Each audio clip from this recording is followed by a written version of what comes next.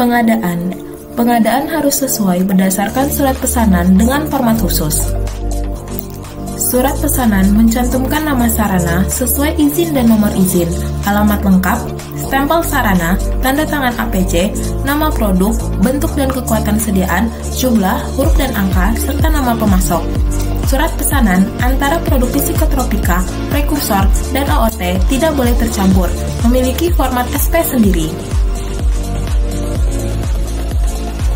Surat pesanan harus asli, tidak boleh fotokopi ataupun fax. Surat pesanan asli dikirim ke pemasok. Surat pesanan ke prinsipal berlaku satu bulan sejak surat pesanan dibuat.